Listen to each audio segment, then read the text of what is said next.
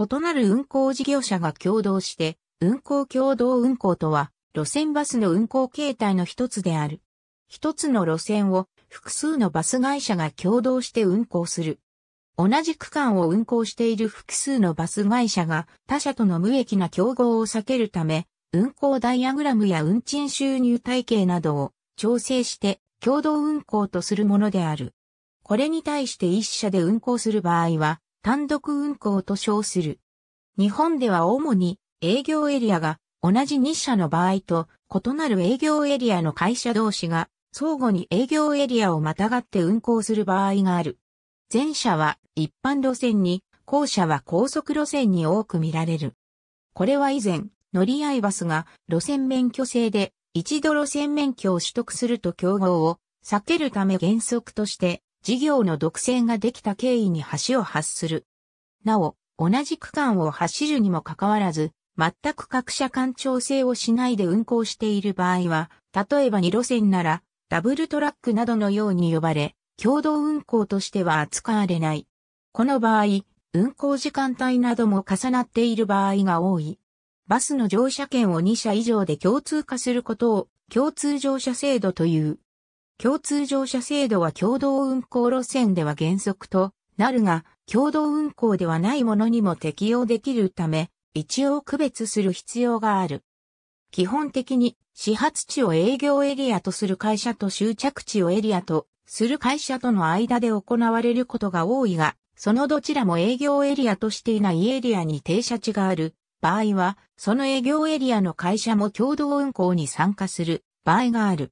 この場合、途中停車地を営業エリアとする会社は、他の路線で車両の送り込みが行われる場合も多い。以下のようなパターンに大別される。同一の区間を運行しており、何らかの調整がされているが、ダイヤ、時刻の統一はなく、各社でバラバラに運行される。また、乗車権類も共通ではなく、運賃生産も各社間では行われていないことが多い。系統番号については統一することもある。バス停留所に掲出されている時刻表が各社別になっている場合は、このパターンであることが多い。一般路線バスにおいて、共同運行と称される場合、通常はこの方式である。同一の区間を運行する各社間でダイヤ、時刻、運行便数などの調整が行われる。共感路線とも称される。系統番号については統一される場合も、統一されない場合もある。バス停留所に掲出されている時刻表が会社に関わらず一つにまとめられている場合は、このパターンであると考えてよい。観光地を走る国鉄バス路線などでよく行われていた手法で JR バスになっても続けられている路線が存在する。運賃生産は基本的には行われないが、共通定期券、回数券を設定の上、現金での利用分以外については、運賃生産が行われるケースもある。近年では地域ごとに共通回数券や共通乗車カードが設定されていることが多いので、路線個別の生産は共通定期券以外は行っていないこともある。親会社が運行していた路線を子会社が引き継いで運行し、その路線に親会社が再度乗り入れる場合もあり、その場合の生産は乗車券、回数券等の発券分は発券会社に別途請求し、現金収入は収受した会社の利益となる例がある。定期券に関しては、運行路線や利用状況の確認のため整理券を発見し、降車時に乗務員が別途整理券のみ回収し、利用状況により配分率を別途計算する方式を行っている例もある。中央高速バス甲府線の開設当初は、京王、富士急、山梨交通の3社相互乗り入れ方式であったが、以前は時間帯による運賃収入の格差を解消するため、ダイヤ改正がなくても毎年担当便を変更する方法で調整していた。現在は口述の運賃プール生産制となっている。また、各社で収入、支出を割り勘とする例もある。例えば、琉球バス交通と沖縄バスが共同運行している28番読谷線に乗車し、運賃を200円支払った場合、半分の100円は琉球バス交通の収入になり、残りの100円は沖縄バスの収入になる。この方式は後日の運賃プール生産性に近いが、各社ごとの運行キロ数によらない方法なので、こちらに分類される。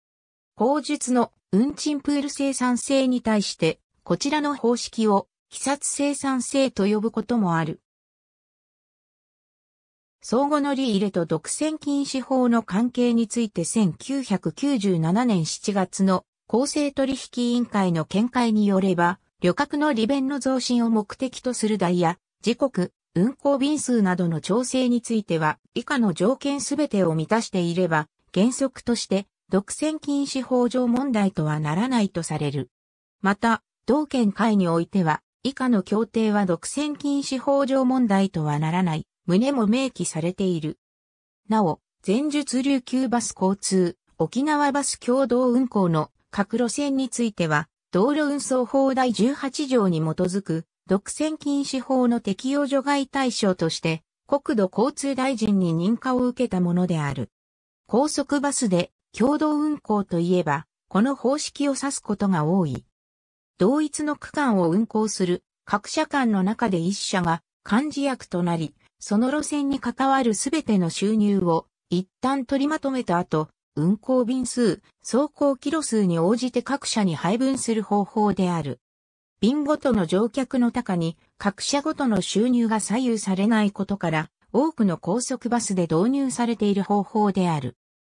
例えば、片道 40km の路線があったとして、A 社が1往復全区間運行し、B 社は袋を途中 30km で運行終了した場合、A 車の走行キロは 80km であるが、B 車は 70km しか運行していないため、A 車には全収入の53.3%が配分され、残りが B 車の取り分となる。